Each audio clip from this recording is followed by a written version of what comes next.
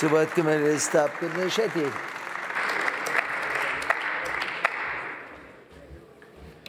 Vielen Dank, ähm, Herr Präsident, sehr geehrter Herr Vizekanzler, sehr geehrte Kolleginnen und Kollegen, sehr geehrte Damen und Herren.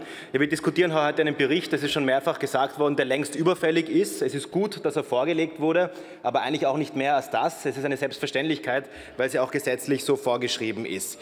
Ähm, ganz wesentlich, wenn wir über den Sport reden, auch im Sportbericht nimmt es einen großen Schwerpunkt ein, dann müssen wir über die Bundessportförderung reden. Und ähm, leider ist das, was in diesem Zusammenhang passiert bzw. nicht passiert, Herr Bundesminister, mehr als enttäuschend. Es gibt zwei Probleme in diesem Zusammenhang. Erstens die Intransparenz, was die Sportförderung betrifft, im Bericht.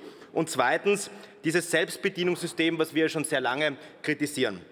Aber wie Sie, Herr Vizekanzler, ja auch zu sagen pflegen, der Reihe nach, um es ein bisschen zu sortieren. Erstens, was die Transparenz bzw. die Intransparenz im Bericht betrifft. Wir wissen, Sportförderung wird auf unterschiedlichen Ebenen ausgeschüttet, nämlich in der Gemeinde, ähm, durch die Länder und auch auf Bundesebene. Aber in diesem Sportbericht fehlt eine Gesamtschau. Es werden hier nur die Bundessportförderungen werden hier abgebildet. Die Landesförderungen, die aber wichtig wären, um einen Gesamtblick zu bekommen, die fehlen hier komplett. Und jetzt ist es natürlich so, wie Sie einwenden, Herr Vizekanzler, man kann die Bundesländer nicht verpflichten, dass sie ihre Förderungen einmelden, dass ihre Zahlen hier abgebildet werden. Aber was wir hier einfordern, übrigens auch das, was Sie damals eingefordert haben in der Opposition, das ist ein gewisses Vorgehen des Naming und Shaming. Also die Bundesländer, die ihre Förderungen einmelden. Die wird man transparent auch sehen. Und jene Bundesländer, sagen wir beispielsweise Niederösterreich, wenn die ihre Förderungen nicht einmelden, dann steht das auch im Bundessportförderungsbericht und dann kann man sich dazu auch ein Bild machen.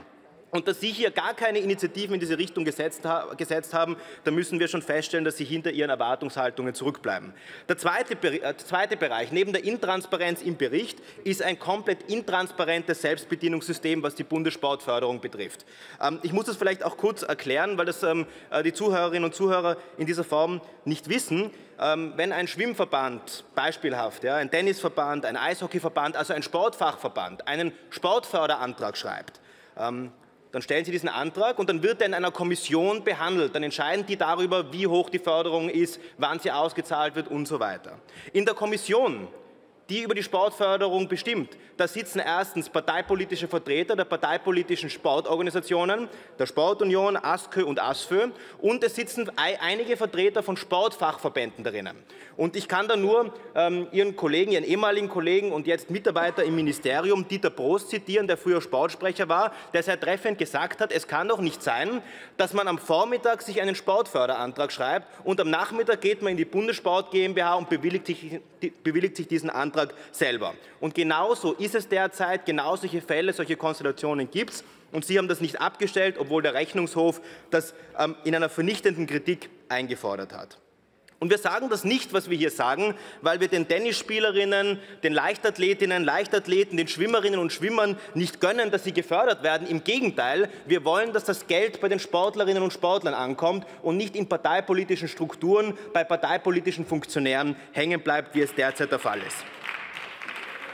Herr Sportminister, das ist ein dubioses System, ein dubioses System, das Sie auch, auch einmal als solches erkannt haben. Sie können sich an diese Kritik nicht mehr erinnern. Dieses dubiose System, das muss ein Ende haben. Und Herr Sportminister, ich würde mir wünschen, dass Sie hier in Bewegung kommen, einen Prozess einleiten, was die Reform Bundessport, des Bundessportförderungsgesetzes betrifft. Sie wissen, dass Sie uns darin als Verbündete haben.